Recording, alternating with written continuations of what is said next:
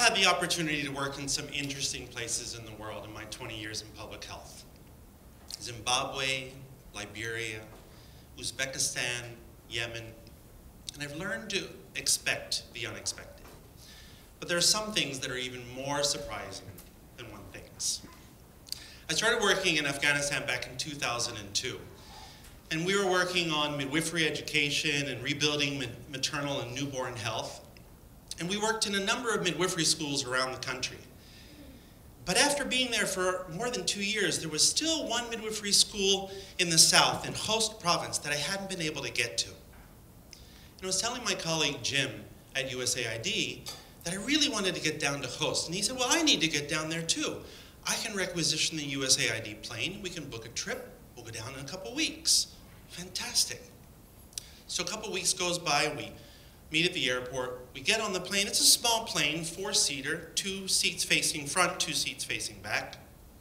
There's four of us on the plane talking as we're flying down to Khost and chatting about what we're going to do and what we have to accomplish while we're there. Well, nobody really told me that when you're flying into a troubled area, you can't just land the plane. You have to do the spiral landing to not be a target as you're flying in. So we start the spiral landing, no problem. And I'm looking at the guy who's sitting in front of me. He looks okay, but then he gets this look on his face. He'd panic, and I look over my shoulder, past the pilot and through the windshield. We're heading straight for the ground. And just before we get there, the pilot pulls back, we land the plane, no problem.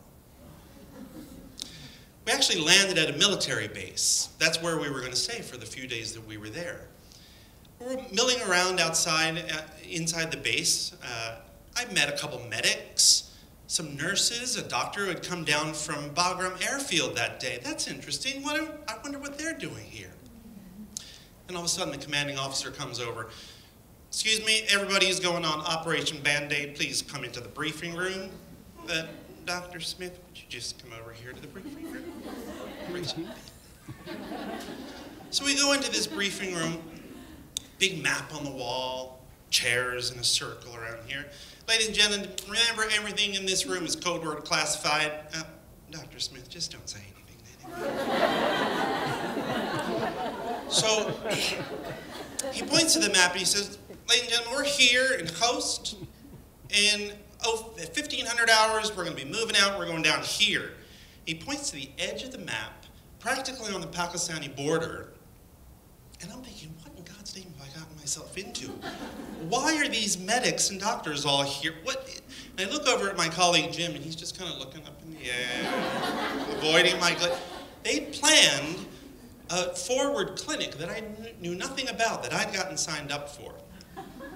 So we go back outside. Now there's a big convoy of vehicles, trucks with supplies, armored personnel carriers, Humvees, and they start handing out the bulletproof vest, the, the body armor. And they get to me, uh, sorry, Dr. Smith, you official personnel only. You, you understand? uh, no. so we get into the Humvee, start the long drive, and you know, Humvees are not particularly built for enjoying the scenery, so it was kind of boring. We arrive at this place and we start setting up a clinic in this schoolhouse. Well, we go to sleep for the night, we get up in the morning, and the next day and that day we saw 700 patients in one day. Well, I got put on, of course, the men's side of the clinic. I'm a gynecologist. I, I haven't seen a male patient in 10 years.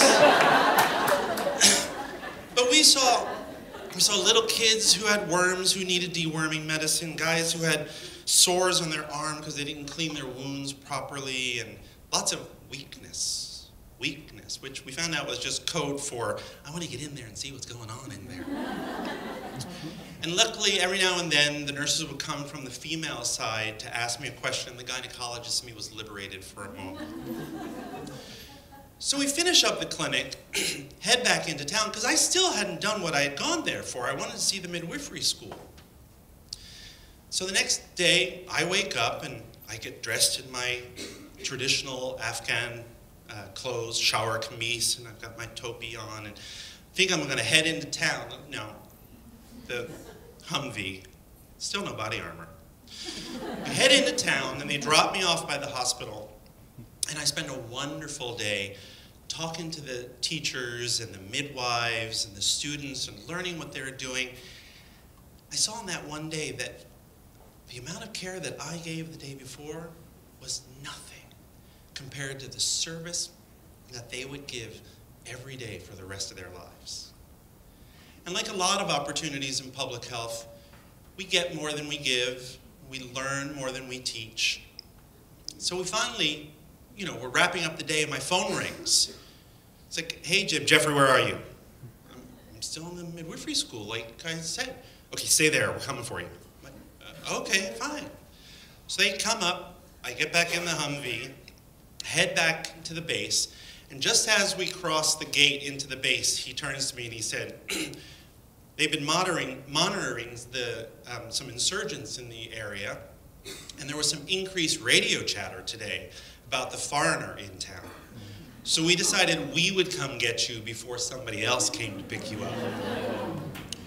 So I did what I went there for. I got to see the midwifery school. I got to talk to the incredible midwives and learn what they were doing and understand their incredible progress. And I learned, I learned once again that day that the unexpected can be more unexpected than we expect, mm-hmm. even when they don't give you the body armor.